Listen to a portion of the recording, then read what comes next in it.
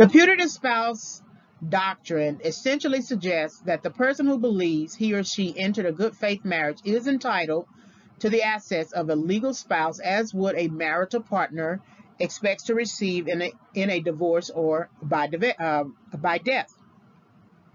Just because the putative spouse did not know his or her partner was still legally married should not prevent him or her from establishing a claim to the assets or rights.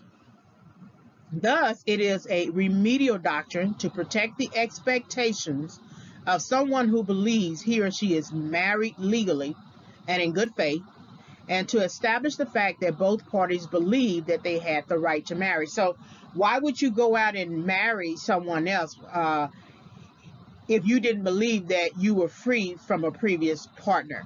And that's something to think about. That's why I say, that's why I push uh, request to see the divorce decree.